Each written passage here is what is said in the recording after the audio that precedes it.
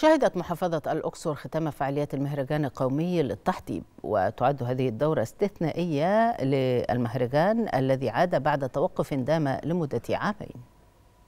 شهدت ساحة أبو الحجاج في الأقصر فعاليات ختام المهرجان القومي للتحطيب في دورته الثانية عشر. تعد هذه الدورة من المهرجان دورة استثنائية حيث يعود بعد توقف دام لعامين بمشاركة ملوك التحطيب من مختلف قرى ونجوع الأقصر. أي مكان بيحب يعمل دعاية وترويج ليه بيختار له هوية.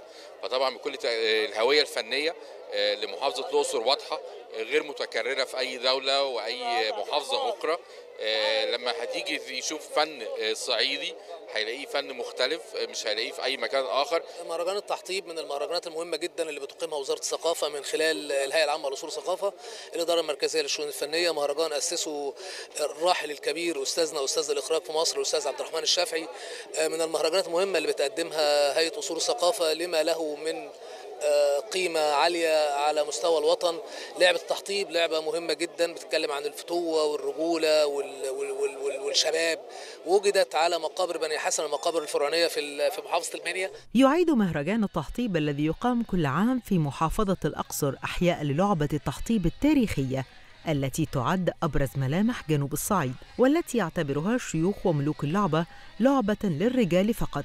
فهي اللعبة التي يمارسها الرجال دون غيرهم من النساء. في مدن وقرى محافظات الصعيد حيث أنه على أنغام المزمار المبهجة والأغاني التراثية الصعيدية يتجمع نجوم لعبة التحطيب في حلقات وساحات التحطيب في مختلف المناسبات والاحتفالات وحفلات الزفاف والمهرجانات طوال العام وذلك لتقديم حلقات التحطيب. مشاركتنا في مهرجان التحطيب ده بداية من وقت ما بدأنا من حوالي عن 12 سنة أو 13 سنة وإحنا نحضر المهرجان ده هنا في في الأقصر لتنشيط عملية السياحة والرفع من مستواها يعني. ده تشجيع لبلدنا وتشجيع للسياحة وإحنا لازم نشجع بلدنا على السياحة وعلى الازدهار وعلى النمو. وإحنا هنا لعيبة من جميع المحافظات محافظة المنيا وجينا وسوهاج والأقصر يعني جميع المحافظات هنا مشاركة في مهرجان التحطيب.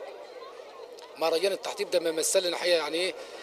يعني حاجة لبلدنا حاجة حاجة مشرفة. أنا لي 12 سنة في المهرجان هنا. 12 سنة إحنا في المهرجان هنا نعملوه. ومن سني 15 سنة في العصاية والمهرجان لعب التحديد العصاية دي حب منذ الصغر. علمنا المرحوم أبوي الله يرحمه مسكة العصاية ولعب العصاية وبعدين لعبة العصاية دي ما يلعبهاش غير الفتوات كان زمان دلوقتي في تساهل وفي مودة وفي إخاء لكن الأول كانت الضربة ضربة. يتجمع شيوخ ولاعبي تحطيب التراث الأشهر في الصعيد ويتم إجراء المباريات ومبارزة بين الكبار والشباب خلال الاحتفالية وسط أجواء مبهجة بين الجميع.